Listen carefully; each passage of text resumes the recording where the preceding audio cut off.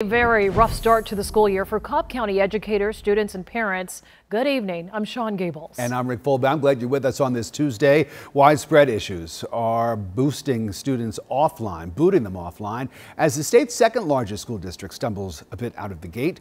Tonight, parents say their children are missing out on learning, and in at least one case, being marked as absent after not being able to log on. CBS 46's Adam Murphy live tonight exploring the issues. And Adam, you've really been trying to find a solution.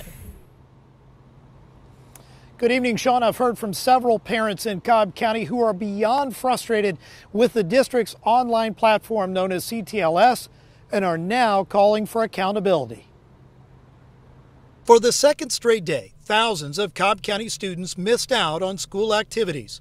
Several parents reported having trouble connecting to the district's online CTLS portal. Others complained they were booted off the system. It's been extremely frustrating, it's been disappointing, and it's very sad to see your children so deflated. Lenore Willis has a sixth grader, freshman, and senior in Cobb County schools and said the first week has been a disaster. My son took 15 minutes to log on this morning. His teacher had connectivity issues, and then I was just upstairs with my middle schooler in tears because she could not get into first period. Willis said some of the teachers have decided to circumvent the CTLS platform and set up Zoom calls with their students. And my two high schoolers have nine teachers between them. Five of them sent out separate Zoom links. Five. Willis is not alone. Elizabeth Clark said her child was marked as absent after her connection failed.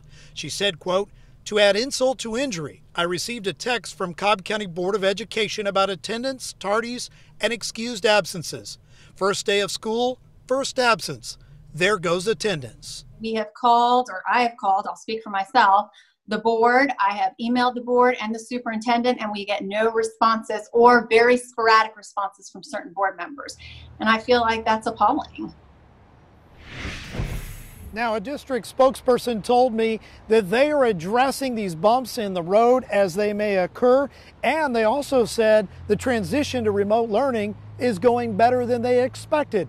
Now, coming up next hour, I'm actually going to press school officials a little bit more on what they are doing to try to resolve these issues, and you'll have to tune in to find out what they had to say about parents and students that are still having connectivity issues.